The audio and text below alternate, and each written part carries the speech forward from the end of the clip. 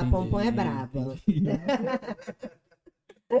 e vazaram, de propósito, de, de maldade, né? Pra prejudicar. Sim, sim. Que hoje em dia, quem fez vai falar assim: caraca, acabei que eu ajudei ela, né?